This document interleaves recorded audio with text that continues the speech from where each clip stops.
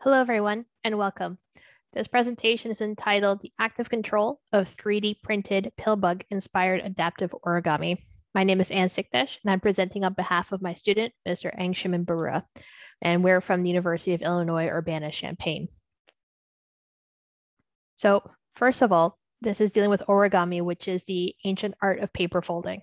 And in the domain of structural engineering, it's a very powerful tool that we can then utilize. As seen here, uh, you can have an origami inspired uh, solar panel used for outer space applications. In our case, we're going to be looking at on Earth, um, but we're also looking at a uh, behavior that we see in pill bugs. As you can see here, the rolling of a pill bug, the conglobation is going from a flattened state to a rolled state based on stimulus. So this whole process is uh, called biomimetics. So it's the imitation of uh, engineering in what we see in nature. So here we're modeling that origami pill bug. And as you can see on the right-hand side is kind of a five module articulated structure that to model what a pill bug looks like. Uh, we have several different types of folds. As you can see here, one module on the left-hand side is uh, shown um, in terms of different folds, and you have the side folds, whether it's a mountain or a valley fold.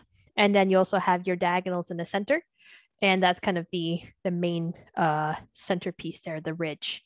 And so this is a model that's approximately uh, 23, 25 centimeters in its mostly unrolled state and about 15 centimeters uh, in its width. So we're using uh, as a base the bar and hinge model, uh, which has been used for origami in the past. And it's uh, implemented using uh, dynamic relaxation so that we have, um, we can calculate the deformations in this structure quite, quite quickly. As for the properties of these bars, uh, we are looking to actually, we'll show an experimental uh, setup later, um, but we'll actually have thickness and properties based on um, a thin 3D printed plastic.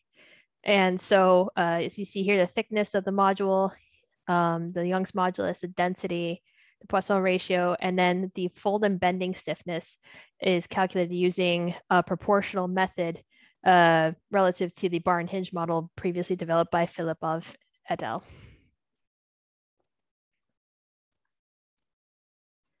So going into more detail, we uh, developed previously already a module on how to handle origami in dynamic relaxation. So calculating that fold and bending stiffness, incorporating that into the iterative process.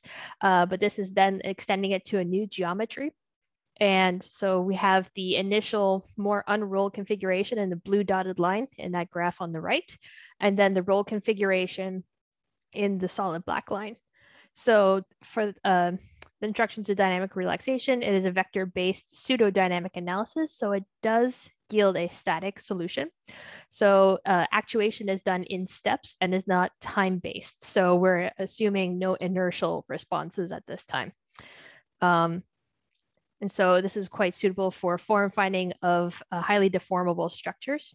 And so we'll go to the next part and we'll show, because it's a static solution, if we want to know some of the dynamics, we use the same configuration of bars, but in this case, we put it into a program called SOFiSTiK and, now analyzing the uh, modal content in these structures. And uh, as you can see here, going from the unrolled state to the rolled state, we have a drop in the first natural frequency, as you can see on the right-hand side. And uh, so this is actually quite promising based on the intent for this structure to control the stiffness throughout the process of folding and unfolding is actually something on a larger scale that we'll be interested uh, in the future. So our experimental setup, as you can see here, it's a 3D printed uh, starting flat where the yellow is a hard plastic using the Stratasys uh, Objet 300 printer. Uh, this is the Vero Yellow Vivid with a 65 MPa. And the folds are using an Agilus, so kind of like a rubber material, all printed at uh, in one shot. And uh, this is about 2.5 MPa, so much softer uh, cables were hooked up at the bottom of the side panels and subjected to pseudostatic loading with the load suspended off the pulleys on the left-hand side. And uh, they were then loaded in the steps of the 50 grams and then uh, to a final weight of 350. On top of that, not just load based, but wanted to uh, capture the progression of the uh, deformation. So this is a camera view from above, and this is uh, using the uh, image tracking uh, program on developed in MATLAB and showing the unrolled to the rolled state, the rolled in the blue, and then the unrolled in the red.